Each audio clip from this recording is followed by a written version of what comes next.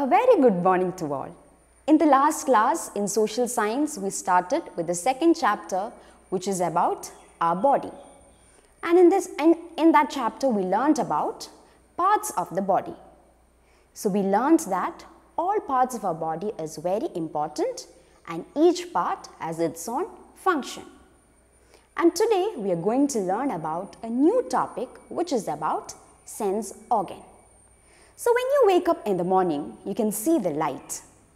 Some of you can hear the sound of the birds or you can hear the sound of the alarm or some of you uh, smell, some of you get the smell of the breakfast from your kitchen.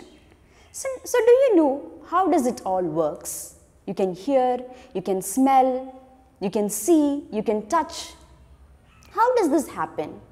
It all happens with your sense organs. So do you know how many sense organs we have? We have five sense organs. That is the eyes, ears, nose, tongue and skin. And these are the five sense organs. And each sense organs are very important and all these five sense organs works together. Then, do you know what is an organ?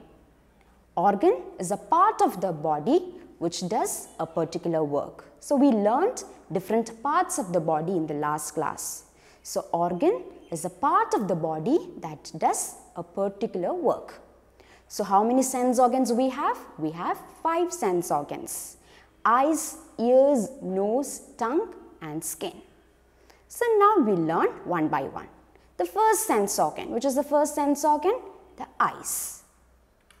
We have two eyes and we see with our eyes. We see everything with our eyes which is around our surrounding.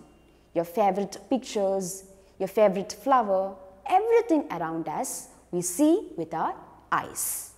Then what is this next sense organ? Your ear. You have two ears and you hear with your ears. You listen to your favorite music. How do you listen to your favorite music? You listen with your ears. Are you all listening to me? You are listening with your ears. So ears helps us to hear. And the next sense organ, what is the third sense organ?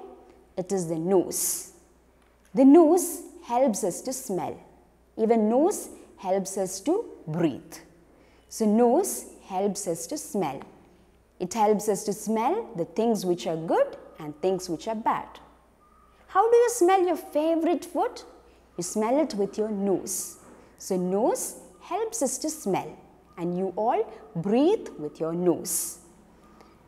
Which is the next sense organ? The next sense organ is your tongue. So the tongue helps us to taste. It can taste the things which are sweet, which are bitter, sour, etc. So the tongue helps us to taste. So the last one, the fifth sense organ. The fifth sense organ is our skin. The skin is the largest sense organ in our body.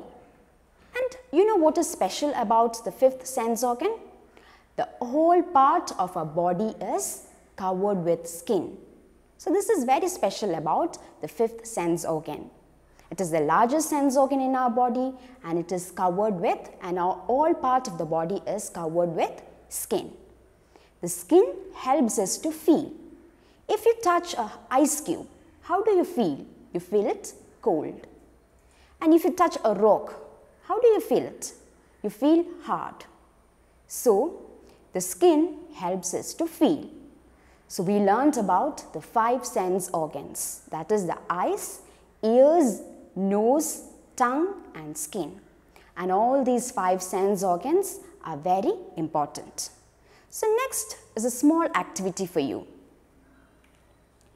You can prepare a flashcard of your five senses. So, you know how to make a flashcard? You can take a paper, you can take a white paper or a chart paper and you can cut in the shape of a card. How many cards do you need? You need five cards.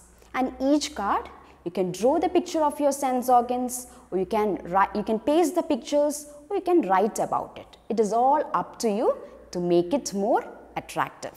So you, can, you should make a flashcard of your five senses. So which are the five senses? Eyes, ears, nose, tongue and skin. And you can take, you can tell your parents to take a picture and send it to us. Okay, next we'll move on to the exercise. So you can take page number 13. In page number 13, you can see the second exercise. In the second exercise, there are four pictures. And in that pictures, the children are facing some problem that affects their body parts. And for each picture, there are some missing words. And what you have to do, you have to find that missing words. So let's do the first one. I have a cold. I cannot dash a flower. So if you have cold, can you smell a flower? No, you can't smell a flower. So the answer is smell. So the first word is, first letter is given S. And you have to fill in the letters. So the answer S M E L L. The second one, I have hurt my finger. I cannot dash in my notebook. If you got hurt in your hand, can you write? No. So the answer is write. The first letter is given W. So you have to write the letters. W R I T E. Okay.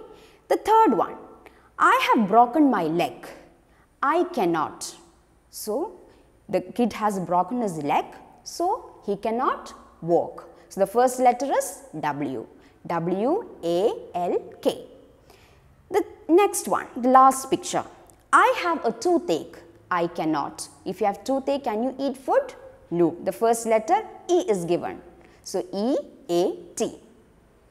So hope you have completed. Moving on to the next exercise, the third one. Circle the correct option. You can see there are five questions given and for each question there are three options. For the you have to tick in, you have to circle the correct option. So let's start. The first one. Our legs helps us to. The three options I'll read and you can circle the correct option. The first one, jump, hold, sing. So you can circle the right one.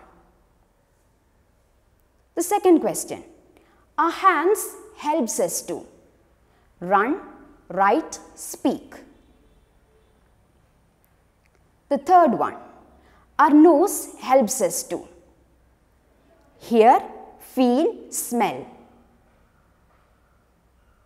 The fourth one, our eyes helps us to dance, see, skip. And the last one, our skin helps us to feel, taste, hear. So shall we discuss the answers? So the first one, our legs helps us to, what is the answer?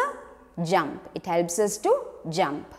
The second one, our hands helps us to write. So write is the correct answer. The third one, our nose helps us to smell. Fourth one, our eyes helps us to see. Fifth one, our skin helps us to feel. So we have completed the exercise. So what did we learn today? We learned about sense organs. Which are the five sense organs? Eyes, ears, nose, tongue and skin. So that's all for today. We'll meet in the next class with a new topic. Till then, bye.